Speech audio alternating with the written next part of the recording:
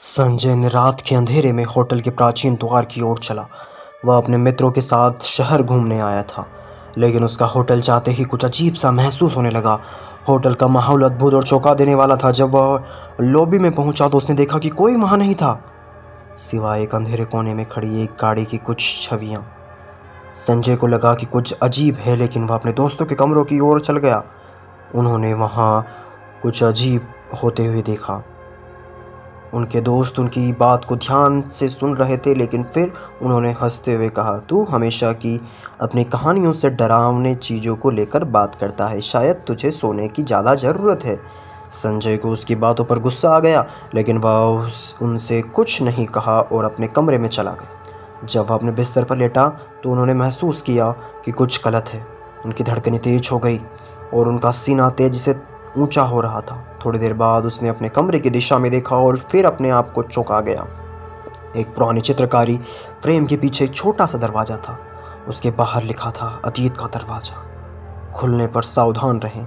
संजय ने दरवाजे को देखते हुए अपने आप को समझाया कि वह यह सब बस अपनी धारणा में बढ़ रहा है। यह बिस्तर पर वापस लेट गया और कोशिश की कि सोने, सो सके। लेकिन उसके सोने की कोशिशों को अजीब घटनाएँ रोक रही थी। उसने महसूस किया कि कोई उसके साथ है, लेकिन जब वह देखने के लिए मुड़ता तो कोई नहीं होता था। धीरे धीरे उसकी साँसें तेज होने लगी और उसके कानों में एक अजीब सी आवाज़ आने लगी। वह दरवाजे की ओर देखा और उसने देखा कि वह दरवाज़ा खुल बंद हो गया है। उसने जोरदार आवाज़ में कहा, कौन है वहाँ? लेकिन कोई आवाज़ नहीं आई। वह फिर से पूरी तरह से ध्यान देने लगा और उसने महसूस किया कि कोई अनजान शक्ति उसके साथ खेल रही है। अचानक उसने देखा कि दरवाज़ा धीरे धीरे खुलने लगा है। वह बिल्कुल भी कुछ नहीं कर पा रहा था। उसके शरीर में तनाव बढ़ रहा था और जब दरवाज़ा पूरी तरह खुल गया तो उसने वहाँ देखा कि उसका होटल का कमरा नहीं था। वह किसी अजनबी स्थान पर था जहाँ संजय ने कभी नहीं गया था। वह अपने आप को समझाने की कोशिश करते हुए यह अजनबी स्थान की ओर चला, लेकिन जैसे ही उसने एक कदम बढ़ाया, वह एक अजीब सा शब्द सुना, जो उसे ठहरने के लिए मजबूर कर दिया। संजय संजय! वह ध्यान देने लगा और उसने देखा कि उसके साथ कोई है, लेकिन उसने किसी को नहीं देखा। धीरे धीरे वह अपने आप को खोने लगा और अपने अपने आप को एक अजीब सी शक्ति के चुंगल में फंसा हुआ महसूस करने लिया। वह भागने की कोशिश करने लगा, लेकिन उसे लगा कि वह एक अजनबी स्थान में फंसा है। कोई और रास्ता नहीं है। उसे एक अजनबी स्थान में घूमते हुए एक पुरानी भूतिया महसूस होने लोगों की दरवाज़ा बाहर खुला। उसने देखा कि उसका होटल का कमरा उसी दरवाजे के पीछे था।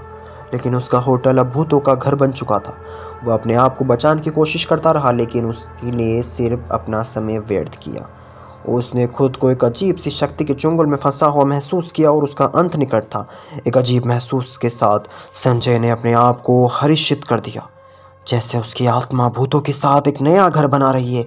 उसकी चीखें और चिल्लाहट वहाँ सुनाई दी जब जहाँ उसकी आत्मा का अंत हुआ था। अब होटल का कमरा खाली हो गया था और दरवाज़ा फिर से बंद हो गया था। यह सब एक ही रात के अंदर हुआ था और उस दिन से होटल का कमरा कभी भी नहीं खोला गया। उस घटना के बाद वह होटल एक भूतिया स्थान के रूप में जाना जाता है।